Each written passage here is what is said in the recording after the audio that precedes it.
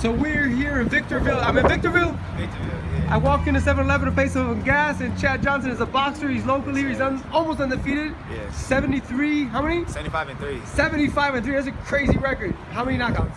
I have, I have like two, but I mean, I'm not really a knockout kind of person. I like to like take the, whole, the fight the whole way. You're like Mayweather. You're, you're like a boxer. You're like a Cuban fighter. You just outschool. I'm more like a Mayweather. I'll consider myself. Let me see how you do the shoulder roll. Shoulder roll. Um, that's not really my thing. I'm more of a just.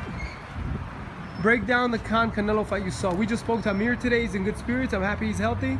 Um, it was a great fight. I mean, I kind of. I wasn't really surprised though, cause Khan his chin really isn't.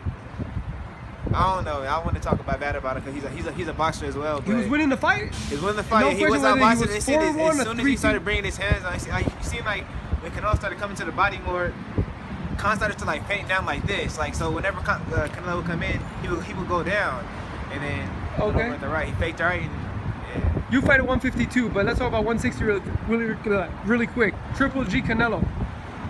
I always say Triple G, man. I think Triple G Triple G is too strong. Canelo's his strong point is that he's always stronger than all, all the fighters that he fights, and I don't think he'll be stronger than uh, than Triple G. I don't think that's. Mayweather may come back or may not come back to fight Conor McGregor. Break it down. That would be a good fight. I'm pretty sure Mayweather knock him out though. How many rounds? Probably three. Three rounds. All right, Broner told or me one. unless unless Mayweather unless Mayweather, Mayweather wants to like take the fight the whole way and you know make like school him on boxing, then it'd be different. But Tell everyone where to follow you, Chad Johnson. um, Instagram CJ also blessed, Twitter um, CJ Real, it's uh, Snapchat CJ Real. Make sure to follow him right here at Victorville for EsNewsReporting.com. I'm Elie Seckbach reporting. And you can follow me on Twitter at Seckbach.